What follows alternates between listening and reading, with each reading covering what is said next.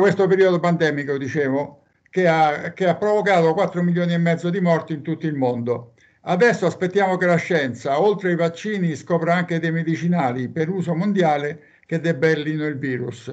In Italia ci sono stati circa 4,7 milioni di infettati con oltre 131 morti. Molti di questi a noi vicini, come Eugenio De Crescenzo, cofondatore della, dell'associazione, strappato ai suoi affetti e della nostra amicizia. Per ricordarlo gli abbiamo dedicato il nostro centro ricercazione. Nelle prime tre edizioni abbiamo presentato i pregiudizi, gli stigmi, i problemi che colpiscono le, le persone per motivi legati alla religione, alla lingua, al sesso, alle condizioni sociali, povertà, indigenza, area geografica di appartenenza, personali, salute integrità fisica o psichica e della loro razza, indicata nell'articolo 3 della Costituzione. Lascio per ultimo questo elemento di discriminazione, la razza, perché propongo subito di avviare una iniziativa. Questo termine, che aveva un senso nel 1948, quando alla fine di una lunga guerra mondiale che aveva provocato 20 milioni di morti, fu approvata dall'ONU contro il razzismo e non solo, la Convenzione internazionale sui diritti umani e la nostra Costituzione lo introdusse nell'articolo 3, quello che insomma più o meno tutti conoscono, cioè tutti uguali di fronte alla legge, indipendentemente dal sesso, dalla razza, religione, eccetera. Oggi questo termine razza non ha più senso. La scienza ci dice che da molto tempo esiste, e da molto tempo, che esiste una sola razza, quella umana, e quindi ne proponiamo anche noi l'eliminazione dalla Costituzione italiana, con quanti antropologi, giuristi, storici, associazioni e cittadini lo ritengono necessario e lo propongono. Tornando a questa edizione, proponiamo di muoverci in positivo, andando oltre, indicando, proponendo e valorizzando stili di vita capaci di andare appunto oltre, oltre il pregiudizio, oltre i pregiudizi Stili di vita che la professoressa Gioia Longo, che non riusciamo ancora a sentire, che è qui con noi, spero, ha proposto nel manifesto Oltre Pregiudizio, che è stato inviato a tutti quanti, che l'associazione ha adottato e fatto proprio. Infatti, il tema e quindi lo stile di vita che proponiamo per questa quarta campagna, desunto dal manifesto, è cura e solidarietà oltre l'individualismo e l'indifferenza. Cosa avverrà brevemente in queste dieci settimane? La prima settimana sarà dedicata alla salute mentale. Il 10 ottobre sarà appunto la giornata mondiale. Grandi sono state ed enormi le difficoltà che nella pandemia hanno dovuto sopportare i pazienti e i loro familiari. In anteprima oggi nel pomeriggio Progetto Itaca alle 18 farà un webinar eh, WorkWorks il lavoro lavori, inserimento lavorativo per le persone con problemi di salute mentale. Guido, se puoi mettere sulla nostra, eh, sulla, sulla, sulla, sul WAP della campagna il link, così magari qualcuno che è interessato può eh, collegarsi oggi. Io comunque vengo. Informazione. Seguirà domani una, un'anteprima sulla salute mentale. Eh, sviluppata nella Casa della Salute di Aprilia dall'associazione ARAP con i sanitari della struttura. Poi si avvierà, come le precedenti edizioni, il 10 ottobre, la giornata mondiale, il cui tema nel corso di questa prima settimana sarà affrontato dal progetto, dal progetto Itaca Roma in 14 piazze della capitale eh, o, o luoghi della capitale con il progetto Tutti matti per il riso eh, chi ha interesse a verificare le, le piazze può andare sul, eh, sul sito di Itaca Roma e lo può verificare. Le settimane seguenti, tutte le altre settimane sono dedicate. Allora, la, quella dopo, la, la, successiva, la seconda è dedicata alla, a oltre la pandemia, la terza allo sport, la quarta al razzismo, la quinta sono due settimane, e la sesta, sono due settimane organizzate dal Centro Ricercazione, di cui ti parlavo prima, eh, sul tema avere cura ed essere solidari. Sono molte iniziative, sono una decina eh, che non erano elencabili tutte qua. Poi ancora successivamente i diritti dell'infanzia e poi la violenza sulle donne, poi i diritti delle persone con disabilità, il volontariato e chiusura sui diritti umani. Adesso do la parola agli oratori, però rispondo alla Longo che ha chiamato a Gioia. Pronto? Pronto? Pronto?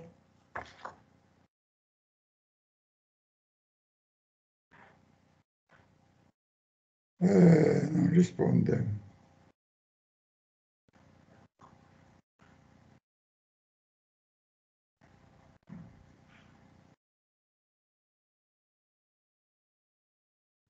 Siccome doveva parlare lei, spero di parlarci.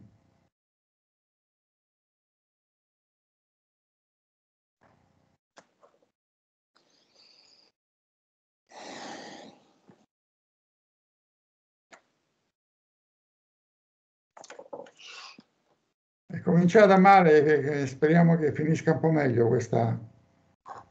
Ma sì, sicuramente Gianni. Semmai intanto parli, parliamo un pochino noi. Io vi posso un attimo specificare meglio che cosa faremo stasera eh, per il progetto Work Work.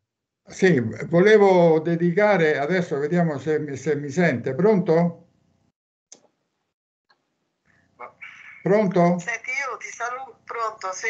Sì, e non ce la fai a entrare? No, non ce la faccio perché non ho gli elementi minimi per entrare. Ho capito. Quindi mi fa tutta una storia di, di, eh, che devo creare account. Ah, ok, ok.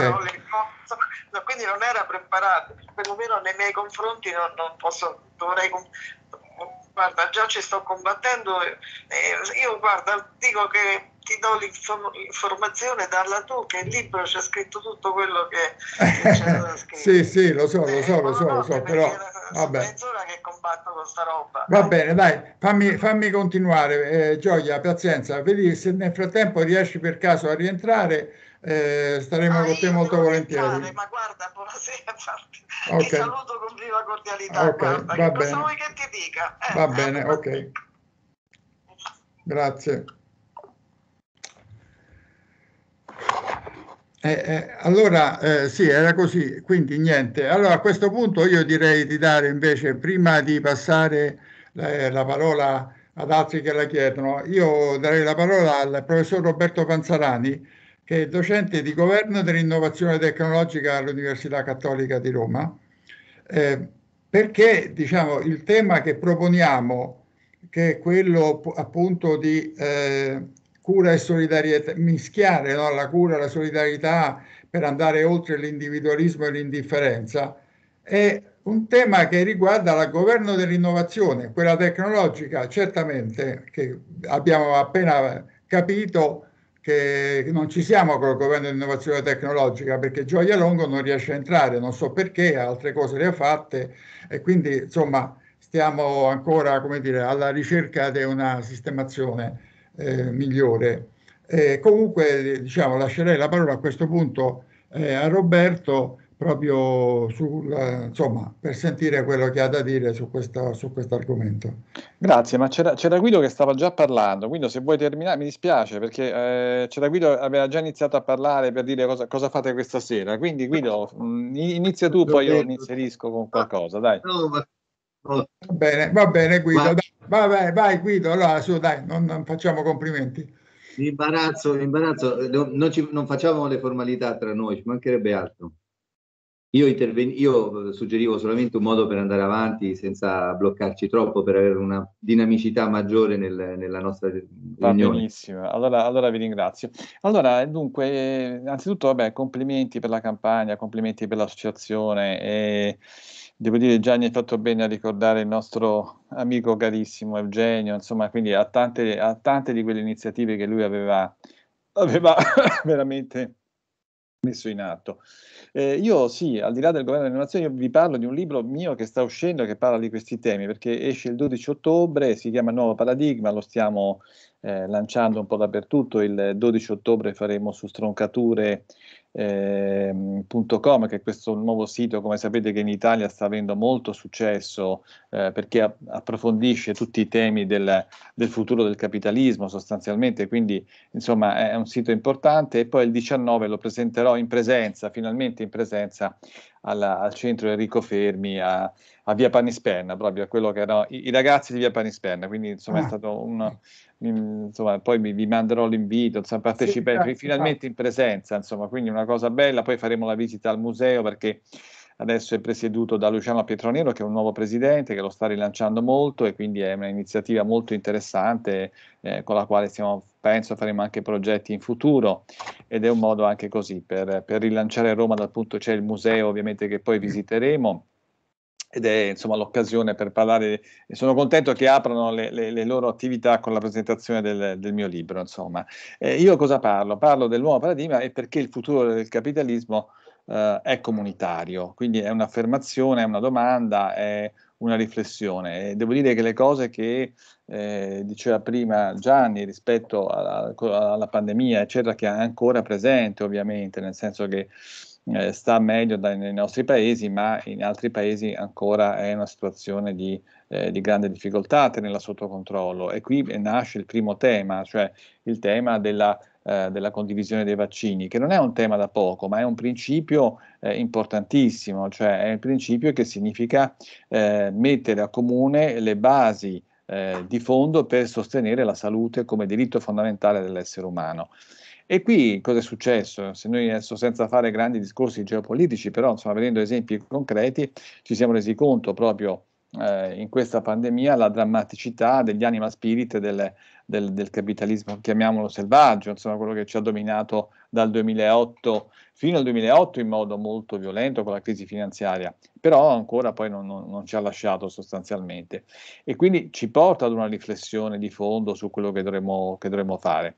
Eh, se pensiamo che il paese più ricco del mondo ha avuto il maggior numero di vittime, quindi ci dice che il valore della salute non è il valore di questo capitalismo sostanzialmente, dei suoi cittadini tra l'altro, che dovrebbero essere, che nascono e vivono nel paese più ricco del mondo, come viene detto. Quindi questo è uno dei principi fondamentali su cui in futuro dovremmo riflettere. Questa volta c'è stata la pandemia, ma accanto alla pandemia chissà quanti altri temi appunto salute mentale e tutto il resto che appunto ci porta poi a, a, questa dimensione. Tra l'altro salute mentale da non trascurare perché è, stato, è un indotto molto grande con numeri rilevanti a causa della pandemia, quindi diciamo che non è che si possa eh, aprire e chiudere qui, ma è un discorso che avrà delle conseguenze molto eh, successive molto importanti. Pensate a chi ha perso i suoi cari, a famiglie eh, totalmente distrutte e eh, io l'altra sera cioè, una, una, ho partecipato a un, web, a un webinar sul, sulla, sull'America Latina che io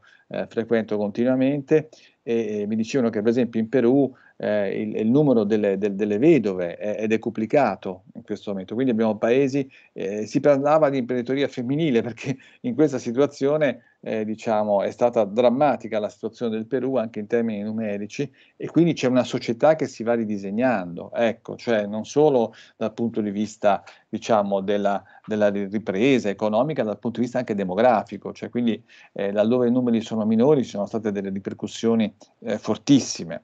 Quindi ecco, diciamo che questo fenomeno tra l'altro appunto della pandemia è molto difficile da analizzare, siamo ancora dentro, quindi da qui a poco però trovarne delle linee di fondo per analizzarlo per il futuro, eh, per capire le conseguenze del futuro è molto importante farlo anche fin, fin da adesso. Ecco che quindi, insomma, ecco, uh, si parlava prima di razza, eh, no, cioè noi oggi eh, finalmente qualcosa, il discorso no, di togliere i brevetti ai vaccini, cioè un discorso assolutamente eh, inaccettabile fino a qualche anno fa, adesso si inizia a farlo per egoismo, magari dicendo guarda che se comunque non, eh, non curiamo anche gli altri paesi, l'Africa che qui da noi, noi avanti potremmo avere conseguenze in futuro, oppure perché no, ci si crede, ci si crede al vaccino come bene comune, ma utilizzando il vaccino come metafora di tantissime altre cose ovviamente. Eh, da qui la salvezza del, del, pianeta, nella situazione in cui siamo assolutamente disastrosa e quindi diventa un interesse per tutti. Però farlo diventare un interesse per tutti è un, è un grande lavoro, quindi noi abbiamo tra l'altro nel recovery plan queste due direttive appunto fondamentali che non sono solo per l'Europa ovviamente, secondo me sono per il mondo intero, cioè la transizione ecologica e la transizione digitale, ecco se non le curiamo approfonditamente, al di là di quelle che sono appunto le tematiche puramente tecniche o scientifiche, ma con una visione della società completamente diversa, non ne verremo fuori. Quindi ecco, questo è un tema, è un tema fo- fondamentale. Eh, e poi diciamo la parte, eh, si diceva proprio all'inizio, diceva Gianni, la parte demografica è importantissima, cioè chi, eh, io, io, vedo difficoltà anche proprio nell'implementazione da noi di eh, un, un, processo di transizione ecologica. Abbiamo pochi giovani, abbiamo pochi giovani rispetto a quello che ci sarebbe bisogno per il futuro, per disegnare il futuro. E quindi dobbiamo pensare ad un'integrazione sempre più importante con eh, persone che vengono magari da altri paesi ma che non possiamo eh, appunto la, la lanciare o, o eh, nei, nei, come dire, eh, letteralmente lanciare ne, nelle, nelle, stazioni delle, delle, città, abbandonarli, no, dobbiamo avere un, un progetto su questo di integrazione molto profondo perché anche qui è l'interesse di, un, di, una costruzione di un paese che sia più equo ma anche più attivo, perché noi abbiamo bisogno di questo tipo di risorse. Quindi ecco, sono discorsi molto, molto profondi che naturalmente eh, siamo riusciti a fare e a pensare, a riflettere anche a causa della costrizione pandemica, ma su cui dobbiamo riflettere assolutamente in modo fondamentale eh, diciamo fin da subito, se no non avremo neanche le forze per fare questo, questo, questo passaggio. Quindi come ridisegniamo appunto una eh, società del futuro eh, a fronte eh, di una tecnologia sempre più espo- esponenzialmente veloce che appunto ci porta a eh, intelligenza artificiale, a tutto quello con il quale siamo coinvolti e di fronte invece a uno stato sociale eh, così dissolto, così poco costruito, così abbandonato da questo punto di vista. E vediamo le istituzioni politiche molto, mh, mm, eh, molto povere da questo punto di vista. Eh, noi in questo momento per, abbiamo una persona che ci rappresenta all'estero molto bene, con grande responsabilità, con una sua biografia personale importante, eh, ma da qui il resto della forze politiche c'è una grandissima povertà nel disegnare la, la, la, cosa del futuro. Quindi è una cosa al momento provvisoria, ma non è il disegno di una società che si basa su principi diversi perché quelli che abbiamo usato fino adesso non hanno funzionato. E quindi su questo dobbiamo riflettere, su una partecipazione politica eh, che sia eh, diciamo in un disegno eh, veramente di una società differente e non solo pensare alle ultime elezioni come al solito questo, questo avviene. Eh, eh, si è detto tante volte, per, pensare per la prossima generazione è ben diverso da non pensare solamente alla, alle scadenze fra un anno, due anni, quello che è. Allora, è sempre stato così, è sempre stato importante. Oggi, a seguito di quello che abbiamo uh, avuto, ancora di più. Non vale solo per noi, ovviamente, vale per, per il mondo intero, lo stiamo vedendo. Ecco, quindi mh, c'è una mancanza, se volete, anche di, di, leadership da questo punto di vista nel mondo.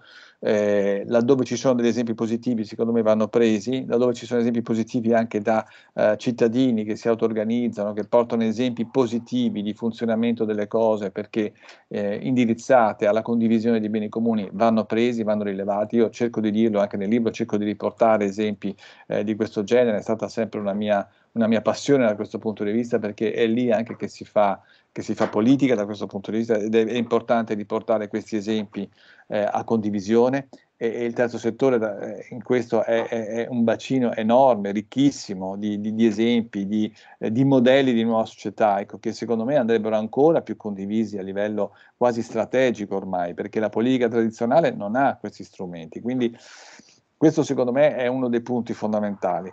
Eh, quindi insomma, ecco, non vorrei prendere altro tempo, vorrei dire semplicemente che certo, oltre il pregiudizio non è solamente una questione eh, etica, morale, ma secondo me è, uh, ci aiuterà a definire una nuova economia nel futuro. E quindi ecco che diventa con un peso uh, assolutamente più rilevante. I principi che ci sono nel manifesto, quei bellissimi principi che avete che avete appunto rilevato, suggeriti dalla, dalla, professoressa, io penso siano fondamentali non solo appunto per superare il pregiudizio delle persone, ma nella costruzione della società del futuro. Quindi ecco, su questo dobbiamo essere veramente convinti e da oggi in poi, insomma, come dire, non, non possiamo stare non possiamo stare a casa, assolutamente no, dobbiamo muoverci per, per, costruire questa società abbastanza in fretta perché i tempi ormai non vengono definiti da noi ma dalle emergenze eh, appunto mondiali, internazionali che sono appunto il pianeta e sono eh, tutta una serie di altre cose su cui dobbiamo ridefinire il nostro futuro. Per il momento mi fermo qui e intanto eh, grazie. Grazie, grazie Roberto, molto interessante il punto di vista perché aperto, aperto sul futuro, aperto sul futuro che è sicuramente diciamo piuttosto plumbeo, non c'è, non c'è chiarezza e quindi è scuro. C'è tutto il tema dell'ambiente che tu stesso evocavi, eh, Roberto, che, che, è un tema così particolarmente pericoloso, perché poi alla fine insomma, si vedono già gli effetti e, e i morti e le catastrofi che questo sta creando. Insomma, non, in qualche modo è la terra che si, che si ribella, poi Vegea, che si ribella a questo uso scriteriato facendo quello che può, insomma, reagendo. Eh, e questo dipende, dipende, da noi, certo, questo è un po'... Eh, va bene. Eh, la Gioia Longo ha definitivamente abbandonato, non ce la fa. Poverina, ci ha provato. Eh, in tutti i modi. Un'altra, un'altra occasione. No, vediamo ancora, eh, intanto che aspettiamo che arrivi anche Francesca Danese perché il, il tema del terzo settore, tu stesso l'hai, l'hai evocato, certo. è, è, importante perché assolutamente sì. nella, nella nuova, in questa immagine nuova che comunque inevitabilmente sta nascendo a seguito della pandemia, inevitabilmente sta nascendo, eh, c'è un ruolo per le persone, ma ci sono molte, tante, troppe forse persone che hanno disabilità di tutti i tipi, che, per i quali va trovato un posto, va trovato un luogo, perché quello nel quale sono stati adesso, diciamo, potrebbe non esserci più, potrebbe non esserci più una assistenza come è stata fatta eh, fino ad oggi. Certo non è auspicabile eh, assolutamente, però diciamo mettiamo nel conto tutto questo, che le possibilità che le cose peggiorino invece che migliorare e che questa città futura sia non eh, quella di Tommaso Campanella, eh, che era la città delle bellezze e dell'oro, ma una città invece de, della depressione e, del, di pochi che comandano. Stamattina mi è arrivato un, un messaggino da Amazon che mi ha detto, dice, noi siamo cresciuti quest'anno del 41%, perché non investi 200 euro su di noi? Così fai soldi pure tu? Ecco, questo è il messaggio, così fai soldi pure tu. Va bene, io lo lascio come questo. Eh, insomma, adesso anche apro ad altri interventi. Guido prima eh, stava, stava parlando, gli lascio la parola. Sì. Grazie, grazie, grazie. Eh, va bene. Roberto, complimenti per il tuo nuovo libro, verrò volentieri a, ad ascoltarti. Con un enorme piacere ti aspetto, almeno ci vediamo, mi fa con enorme piacere. Eh. Aspetto tutti. E, ehm, beh, ho, ho, condiviso veramente tanti stimoli i vostri interventi e mentre vi ascoltavo um, riflettevo anche su, su, questa immagine evocativa di Papa Francesco sul discorso della società dello scarto no, che lui ha citato e, e anche ieri ha detto che eh, bisogna produrre meno fucili e più vaccini e distribuire meno mitra e, e, più vaccini, soprattutto nei paesi in via di sviluppo. Quindi sicuramente eh, siamo chiamati, abbiamo l'opportunità, cioè il Covid ha costruito tanta, tanta, tanta sofferenza e, e, qualche opportunità che guai a noi se non, non, non, le cogliamo, non le sfruttiamo a dovere in tutte le direzioni. E quindi um, mi piace pensare di, che abbiamo l'opportunità di passare da una società dello scarto, da una società del consumo che, che brucia tutto e liquid, rende tutto liquido, passare a una società un pochino più equilibrata, un più equa, più attenta a, anche alle persone che hanno bisogno. Eh, io in particolare dopo tanti anni di, di, di lavoro eh, nello sviluppo diciamo, dei sistemi economici, voi sapete il mio percorso un po' con Nomis, ma un po' con, eh, nel terzo settore, poi alla fine mi sono fermato e dedicato anima e corpo alla salute mentale perché eh, ho trovato qui la mia vera, eh, insomma, il, il, settore che più mi, mi, appassiona, mi interessa e nel quale credo, per cui ormai da più di dieci anni mi occupo di salute mentale. In che senso? Perché io non sono né psicologo né psichiatra, io sono, na, nasco in realtà come eh, sociologo e, e, appassionato di economia. A me interessa la salute mentale perché ehm, mi interessa un, un, un, così, l'opportunità di lavorare in maniera pratica con persone che eh, hanno tanti talenti e che la nostra società non li riconosce. Eh, hanno, io lavoro continuamente con persone che sono state scartate dalla nostra società, da questa società del consumo e che invece hanno tantissime risorse, eh, bisogna avere eh, la capacità e la pazienza di aiutarli a farle emergere, a far emergere questi talenti e poi dare loro un'opportunità, una chance di mettersi eh, in gioco e di, e di creare per se stessi e per la società qualcosa, così da non essere più uno scarto e persone che dipendono da, dalla pensioncina che gli passa, quella piccola pensioncina che gli passa lo Stato. Ecco, questa è secondo me quindi una delle soluzioni, e nel mio piccolo cerco di portarla avanti al meglio, è quella di aiutare le persone con disabilità mentale a tornare operativi, attivi, produttivi, ad avere un ruolo nella, nella società e nel mondo del lavoro. E questo poi il, il tema che tratteremo stasera eh, del, con il progetto Work Works, che, che sa, sta a significare che il lavoro funziona, cioè per aiutare le persone con una storia di, di, di disagio mentale eh, a, a, ritrovare la voglia di rimettersi in gioco, è, è necessario offrirgli l'opportunità di, di mettersi all'opera e far emergere i talenti e dare significato alla loro esistenza, al loro tempo in maniera produttiva.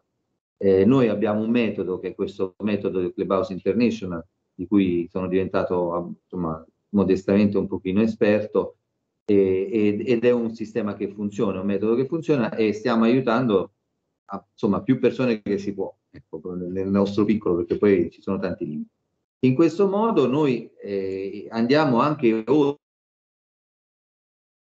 il di un disagio mentale di chi è stato scartato e eh, mi piace soffermarmi sul concetto di andare oltre il pregiudizio, perché voi sapete che ho avuto il piacere e l'onore con Gianni mi chiamò all'inizio di questa avventura eh, e insieme poi eh, abbiamo fatto le varie campagne e insieme abbiamo anche scelto di chiamare l'associazione Oltre il Pregiudizio. Perché? Perché l'impegno della nostra associazione è quello di aiutare la nostra società, diciamo la, la, la cultura generale, a andare oltre i pregiudizi.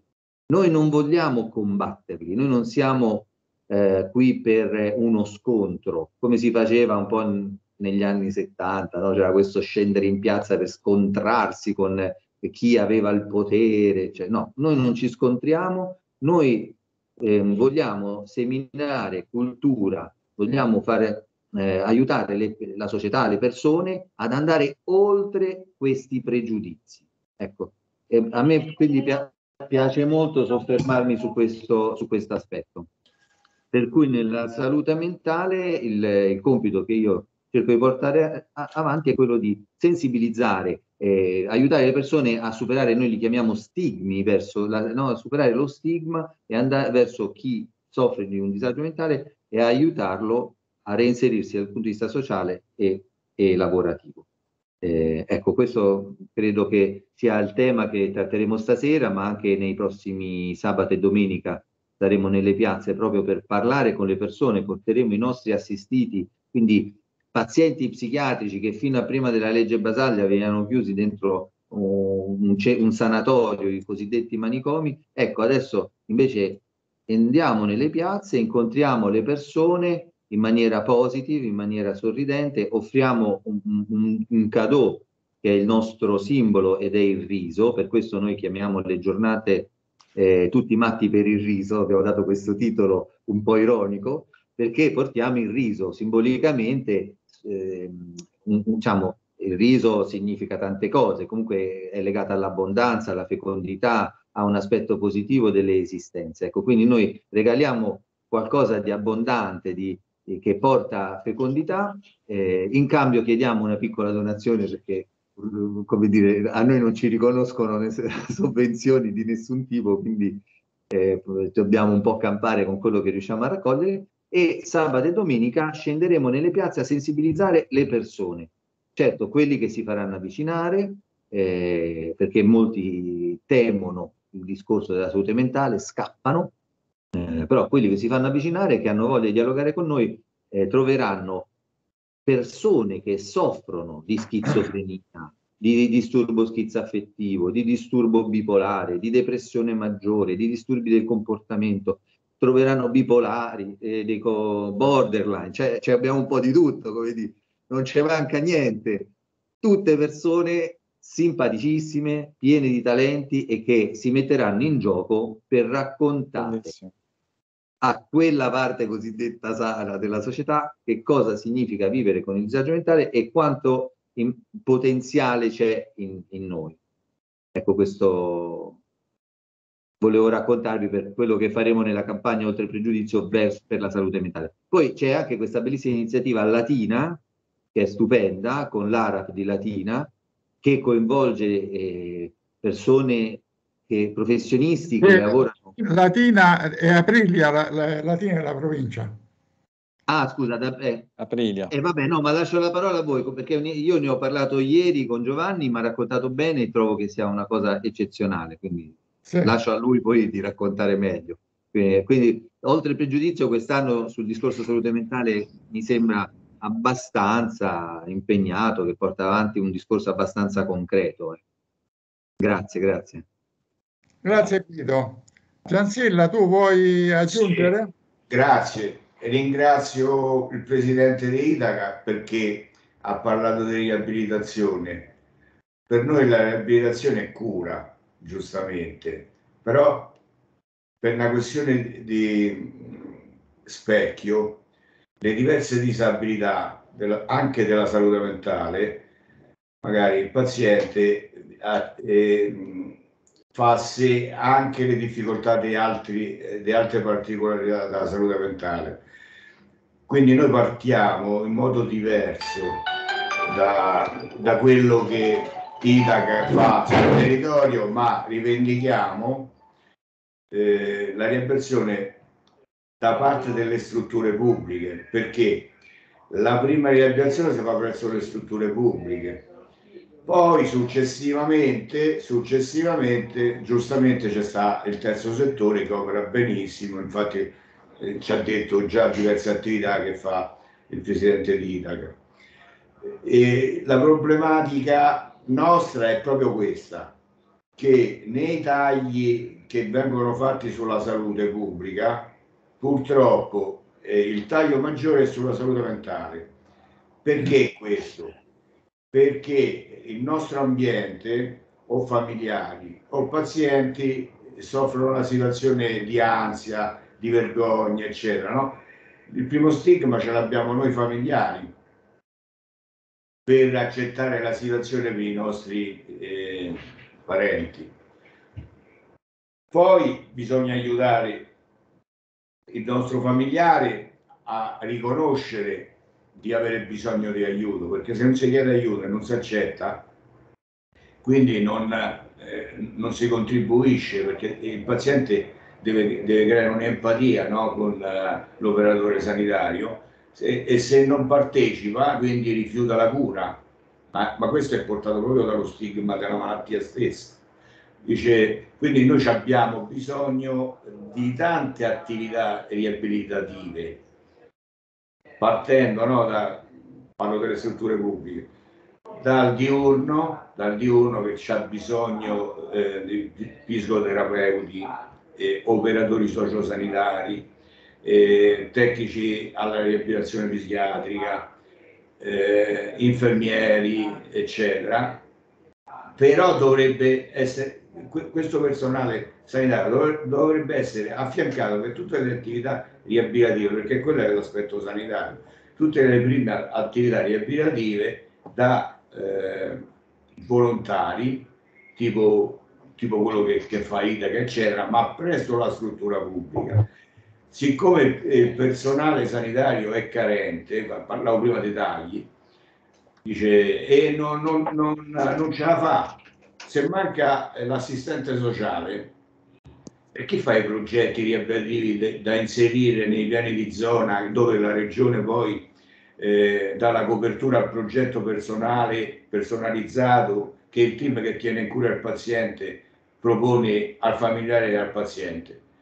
Il carico amministrativo spetta in base ai bilanci di competenza degli enti gestori, no? viene, viene ripartito tra gli enti gestori. Se questi progetti non vengono inseriti perché manca, mancano anche i moduli di fabbisogno, tanti pazienti, tanti progetti, eh, tanta disponibilità economica per, per, coprire i progetti che vengono fatti. Quindi eh, diciamo che la struttura pubblica è impossibilitata proprio per questi motivi perché la regione non può assegnare e, e non può eh, aggiornare in base al fabbisogno. Dice quindi per, per, proprio per, questi problemi operativi che ci stanno eh, presso le strutture pubbliche della salute mentale, e noi, specialmente eh, familiari che provengono dalle province, Roma, meno male che è città capitale, ha diversi municipi, quindi ha 5, 5 RM, eh, compresa la Sesta e i Castelli Romani. Dice, noi abbiamo molte di più di difficoltà. Faccio un esempio, ieri parlavo con l'amico, scusa se ci siamo conosciuti ieri personalmente, che ci sono persone che fanno parte del nostro distretto, perché il mio distretto è LT1, Avere Cisterna, Gori, Roccamasi, e facciamo parte della di Latina. Se eh, il, il, nel distretto il centro di salute mentale è comune, Avrile e Cisterna, siamo proprio così, Avrile e Cisterna. Se le città che usufruiscono dello stesso servizio, dove il personale è spalmato sul territorio, quindi significa che non funziona né cisterna né CSM di cisterna né CSM da briglia proprio per questa problematica qua quindi eh, la persona che viene prima riabilitata nel diurno sulla prima riabilitazione successivamente dovrebbe continuare il tipo di riabilitazione no? presso altre strutture o pubbliche o, o del terzo settore si, eh, eh, siccome Aprile e Cisterna non sono ben collegate, che succede? Che un paziente di Cisterna fa prima col treno Roma-Napoli, in 15 minuti arriva, arriva a Roma, e che eh, venire ad Aprile a CSM di propria competenza per usufruire della, diciamo, dell'assistenza del diurno che c'è. E l'unica struttura abitativa è quella. Parlo di strutture pubbliche. Delle difficoltà territoriali che si sono create e che si creano per eh, una cattiva organizzazione, questo mi pare che sia il tema, vero? Sì, non per eh, responsabilità da parte dei, dei, degli No, no, ma spesso non è per, probabilmente esatto. c'entrano poco, eh? Sì, proprio perché mi ritorna allo stigma, proprio perché eh, siccome la ASL è diventata eh, un'azienda, un'azienda e i dirigenti, no, in base alle disposizioni regionali e nazionali, eh, sono valutati in base a quanto fa, fanno risparmiare all'ente, logicamente il funzionario taglia, perché è valutato così, e quindi il taglio che viene fatto su tutta la, la sanità eh, pubblica, maggiormente viene fatto sulla sanità mentale. Ecco lo stigma, lo stigma che noi, noi eh, abbiamo sulle spalle e che vorremmo insieme a questa rete di associazioni, proprio, proprio parlando dello stigma che subiscono anche gli operatori de, de, del servizio sanitario mentale all'interno de, delle stesse strutture diciamo, pubbliche dei servizi pubblici, nelle case della salute, eccetera, e noi abbiamo solo la casa della salute, non c'è ospedale, non ci sono altre strutture pubbliche, quindi anche per eh, l'SPTC, per i TDSO, eccetera.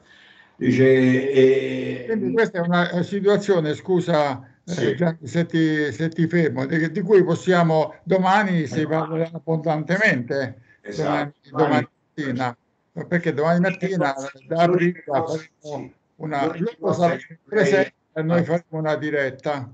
Sì. Della, della cosa, quale approfitto che c'è Valentini che ha parlato di inserimento lavorativo, quindi eh, dico questo, che noi domani avremo dei rappresentanti di formazione, formazione lavoro, di formazione lavoro, l'abbiamo invitato eccetera, ho avuto una telefonata adesso, l'ha ricevuta Marco mentre io stavo parlando con voi. Hanno detto che non possono intervenire. Che per impegni per impegni, diciamo, sono tutti impegnati, esatto. non possono intervenire in diretta. Posso intervenire. Però gli possiamo dare per email. Eh, Però mi sta dicendo in diretta Marco che gli possiamo mandare eh, il link di collegamento e, e, e, la scaletta e via Skype magari potrebbero intervenire lo stesso. Sì. Questo perché?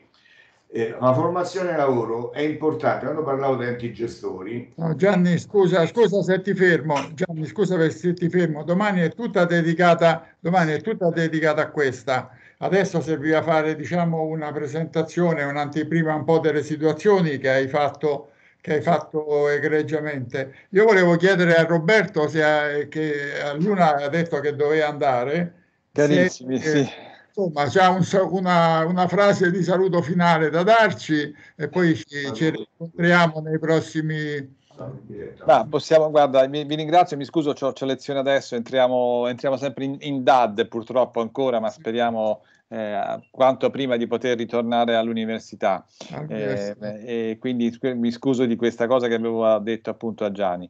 Ma eh, possiamo ricordarci questa frase di questo futurologo William Gibson, che lui diceva il futuro è già qui, ma eh, non è ben distribuito, è mal distribuito. Quindi il nostro compito è di riuscire a distribuirlo meglio, come appunto si diceva prima, eh, tutti gli esempi concreti, poi alla fine si vede quanta distanza c'è ancora dall'assicurare un futuro decente alle persone e per tutti. Quindi è un grandissimo impegno. Vi ringrazio ancora tantissimo e mi scuso se me ne devo andare, però sono stato molto felice di, di partecipare anche se, se per breve tempo. E, ci ritroveremo okay. senz'altro presto e chi vuole il 19 mattina dai ragazzi di via Parnisperna alle 10 ci, si presenterà il mio libro.